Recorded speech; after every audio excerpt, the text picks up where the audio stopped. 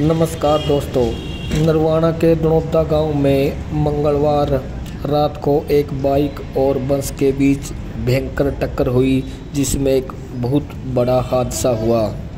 बताया जा रहा कि हिसार से चंडीगढ़ जा रही बस ड्राइवर ने गाँव की सवारी लेने के लिए बाईपास से दनौदा की तरफ़ क्रॉसिंग करने के दौरान ही यह बड़ी घटना हुई। बाइक सवार राजेश पुत्र, जयवीर जाति जाट, आयु 35 वर्ष, युवक की मौके पर ही वहीं मौत हो गई।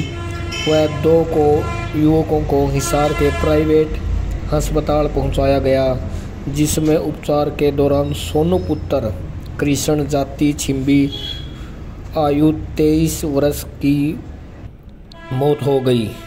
जबकि गगनदीप पुत्र बलजीत, आयु 20 वर्ष नामक युवक की हालत गंभीर बताई जा रही है।